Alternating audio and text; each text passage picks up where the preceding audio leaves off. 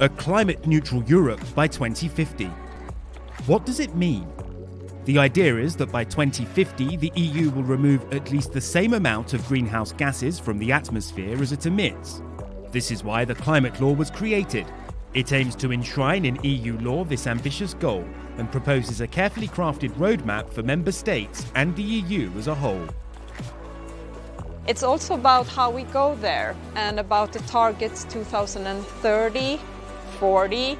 We voted for 60% reduction to 2030 and I hope that that should be the outcome of the whole legislation, of course. Parliament also wants all legislation contributing to the reduction of greenhouse gas emissions to be assessed and updated to fit the climate law targets. To ensure we reach the 2050 target, MEPs are proposing an additional 2040 target. 2019 was Europe's hottest year on record.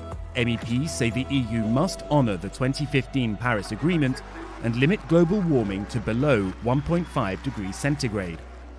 I really believe Europe must send this message that we are doing it and we are doing it fast to 2030. We will also be climate neutral on this uh, European Union and we want uh, the whole world to do the same.